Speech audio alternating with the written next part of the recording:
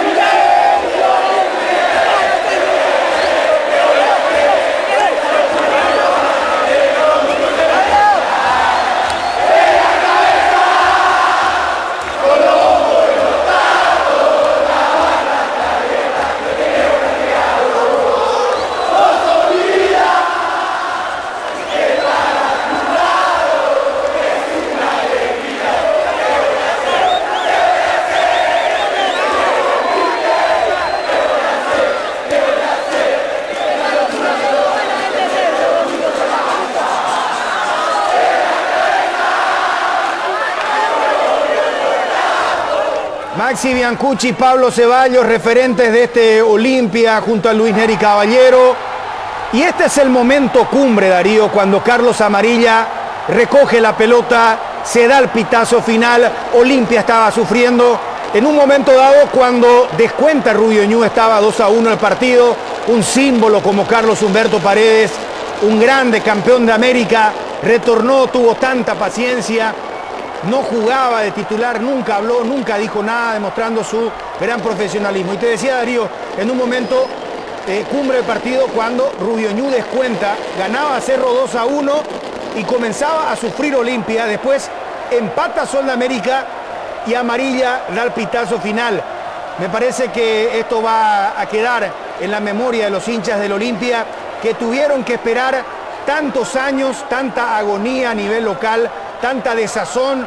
Uno recuerda partidos en donde Olimpia perdió frente a Soldamérica, 12 de octubre, 3 de febrero.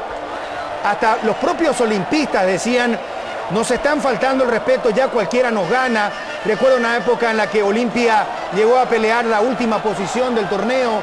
O sea, esto Olimpia sufrió bastante y esperó tanto para coronarse campeón el día de ayer en el Defensores del Chaco. Pero yo creo que la paciencia ha sido también eh, un distintivo de este Olimpia de 11 años de espera, cuando estaba tan acostumbrado a, los gritos de campeón cada año, dos veces en una temporada, campeonatos nacionales e internacionales, pero finalmente tuvo que pasar una sequía tremenda para después de mucho esfuerzo, de muchos desaciertos y aciertos también, coronarse campeón del torneo. Sin duda que ha sido uno de los campeonatos más peleados hasta el último momento, porque fíjense lo que decía Bruno, que ya en los minutos finales cuando Olimpia seguía ganando 2 a 1, habría que ver el rostro de los olimpistas cuando Cerro se puso adelante en el marcador y era cuestión de un gol. Y hasta los jugadores dentro de la cancha preguntaban qué pasaba en Luque, pero finalmente Olimpia alargó el resultado hasta el final y dentro de esto que ya ha sido distintivo en Olimpia de hacer sufrir a su hinchada, sin embargo, terminó siendo... Este hombre para mí fue la figura, Darío. Yo tengo dos figuras en Olimpia, Gerardo Peluso y Sergio Orteman, guardándole respeto a todos los jugadores del Olimpia, pero me parece que se alzó al hombro el equipo Orteman en las fechas eh, cumbres de este campeonato clausura y, termina siendo figura. Ahí está, Gerardo Peluso.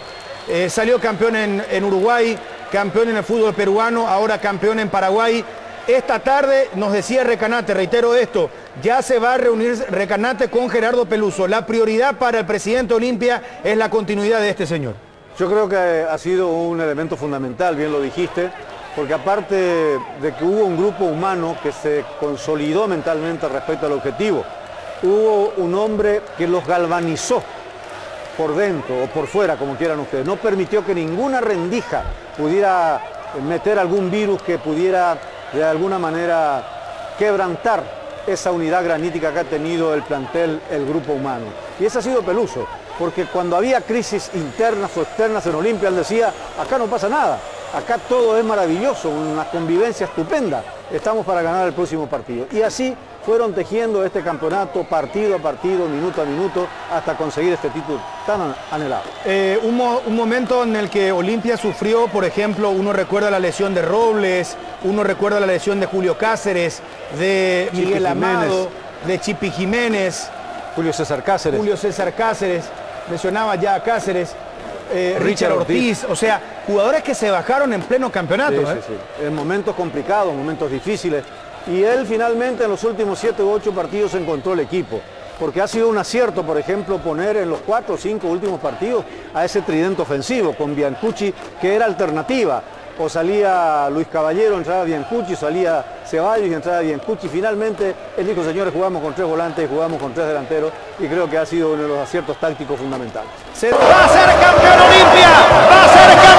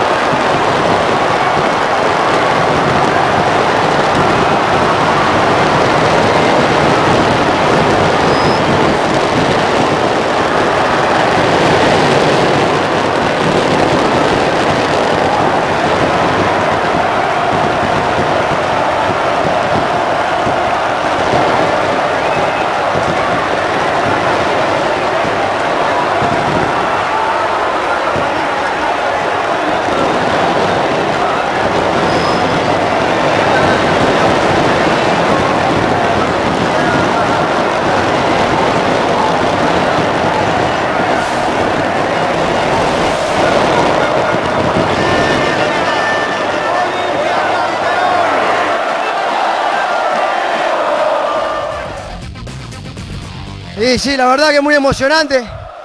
La verdad que la mejor manera. La gente se lo merece.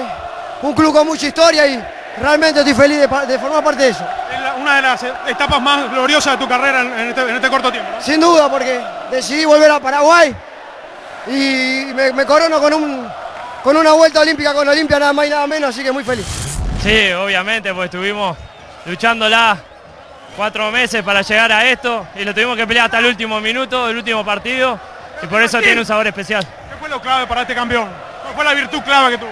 Creo que la unión del grupo y la personalidad en los momentos difíciles. Para vos, en tan poco tiempo, salir campeón con Olimpia, no tiene precio, ¿no? No, no tiene precio la primera campaña. Salir campeón, sabíamos que era el objetivo, pero también sabíamos que era un campeonato muy difícil y bueno, muy contento porque se pudo lograr. Feliz, feliz porque creo que este grupo siempre estuvo fuerte ante toda la adversidad y bueno, quedó demostrado una vez más. ¿Cuál fue la base del título, la base de este título? el compañerismo que hubo dentro de esto. Las hermanas mostraron unidad y carácter, ¿no, Adrián? Siempre, ante toda la adversidad mostramos carácter y humildad, que eso es fundamental. ¿Para vos qué significa este título en tu carrera? Un título más y obviamente ganarlo con un equipo grande me hace feliz. ¿Ahora te planteas la posibilidad de quedarte por el cariño de la gente, Hueso? siempre tuve cariño de la gente, eso me reconforta, pero bueno, veremos. No, con mucha emoción, con mucha alegría, más siendo hincha de este club.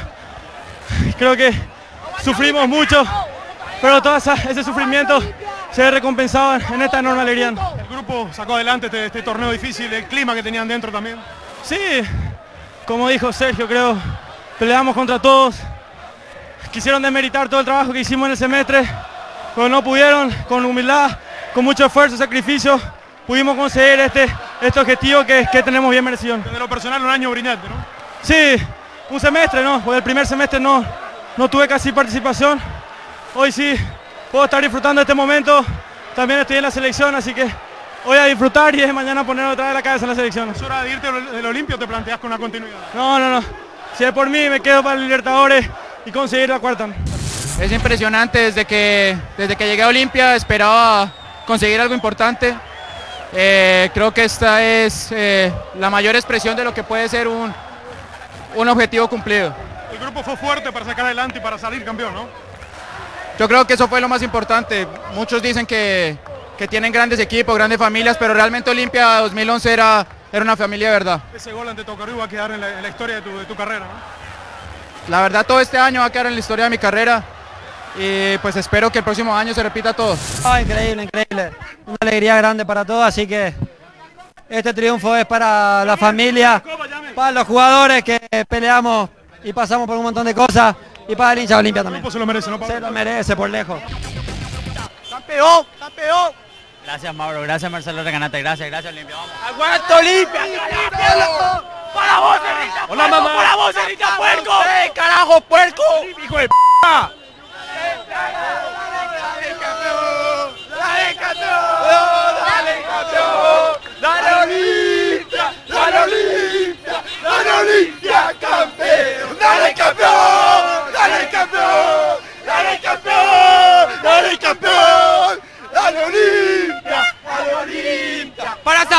Llorón Zapat, como tu papá nunca ganaste nada. Llorón. Olimpia, lo más grande, mirá, Cerro.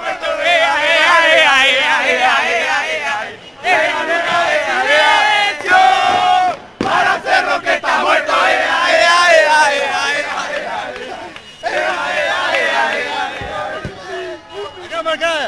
¡El rey de copa! ¡Para vos, hermosa! ¡Para vos! ¡Rey de copa! Para todo lo de Cerro, el regalo de papá. Mi, mi papá era dominado y le dijo a mi mamá, le dijo a mi mamá, ponele vos el nombre y yo le pongo el club. Gracias papá por hacerme olimpista. de amargo, 100 años de amargo, Cerrita, p***. 11 años, volvemos, pero ustedes no son nada, carajo. Olimpia campeón. ¡Qué grande sos, Orteman! ¡Qué más grande, Olimpia!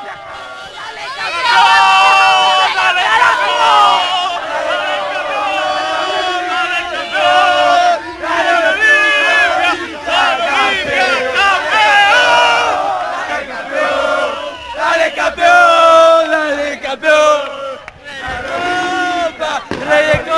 Para vos, Zapat, para vos. Para vos, pues mierda, Ocampo. Zapata, para vos, Zapata. ¡Te amo, Sergio, te amo! Aguante, Gordi, para vos, viejo. Cerrita. ¡Un amargo! Vamos, carajo, vamos Olimpia. Para para vos, Barreto. Para, para vos, Zapac, para vos, para vos, para vos, Zapac, que hablaste todo al pedo, Olimpia campeón, llorá, p***. Vamos a traer la copa, te traemos la copa.